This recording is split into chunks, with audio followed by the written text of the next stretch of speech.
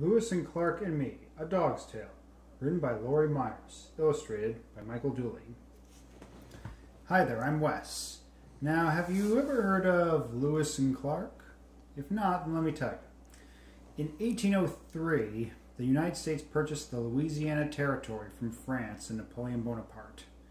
This purchase more than doubled the size of the United States, and President Thomas Jefferson sent a whole crew, including two very very interesting explorers to learn about this new land further west. Their names were they're Lewis and Clark, or rather Meriwether Lewis and William Clark, and they brought along a special friend to help them on their journey, a Newfoundland dog named Seaman. This incredible story is narrated through the eyes of the dog himself, and on oh, on this journey across the United States. During these adventures, Seaman shared the joy as well as the suffering of the other expedition members. Several of the men kept journals during this trip and wrote, wrote some things about him. In fact, early ones talk about him a lot, and they often referred to him as Captain Lewis's dog, and by the end they routinely use our dog.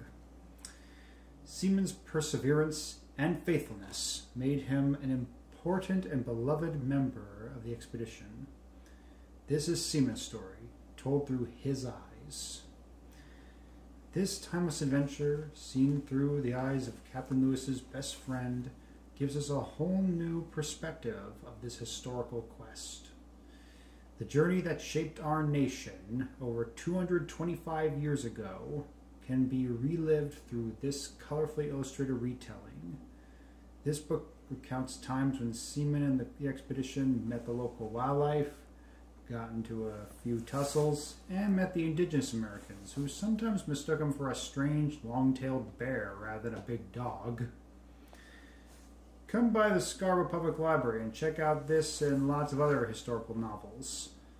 Also, if you're ever on the Scarborough Minecraft server, if you look hard, you can get a little teaser about this true story. So long for now, and see you at the library.